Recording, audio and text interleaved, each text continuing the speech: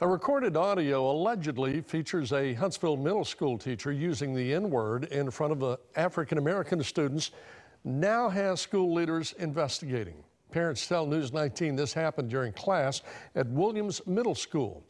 That's where News 19 Samson Tamajani joins us now live this evening with more. And Samson, we understand the school has addressed this. That's right, Jerry. Huntsville City Schools did release a statement to us commenting on the matter, though didn't give that many specifics. Now, we're going to let you listen to that audio recording, though we will warn, so it does include language that some will find insensitive. African American. So they called us the bad word? No. It was either Negro or colored. Now, in my house growing up, if, and I'm saying this, and I don't want y'all to get offended, I'm just using it as context. If you said the word at my house, you got your face slapped.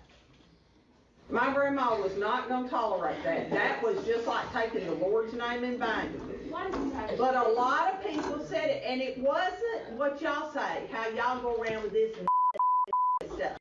That audio clip was reportedly recorded during a class at Williams Middle School off Zierdt Road late last week. Several parents told us off camera that clip was only recorded by a student because they knew the teacher had already said offensive things before. Principal Fisher Hedgeman released this statement confirming the culturally insensitive language but did not name the teacher. Quote, using any type of language that does not align with these values is not acceptable. While this is a personnel matter and we do not wish to repeat what was said, we can assure you that this matter will be addressed. Hedgeman goes on to say school leaders are meeting with students involved in the recording regarding any thoughts or emotions they may feel. The principal's statement concludes, quote, Our school culture and climate are critical aspects of any learning environment, and we want all our students to walk into a positive place for teaching and learning every day, end quote.